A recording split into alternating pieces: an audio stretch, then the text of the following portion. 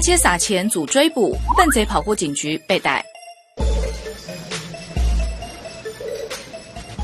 要看他这个收音机啊，这个收音机就在边在包收音机里面的钱，那可能是敲开那个收银机有声音。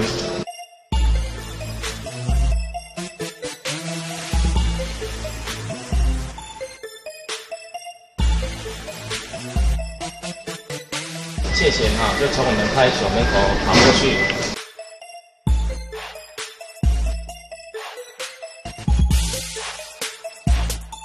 高雄这名笨贼自以为聪明，把偷来的钱到处撒，以为可以分散注意力，最后还是贼心该败。就那么巧，刚好从警局对面跑过，被值班警员逮个正着。最后钱没偷到，反而被移送法办。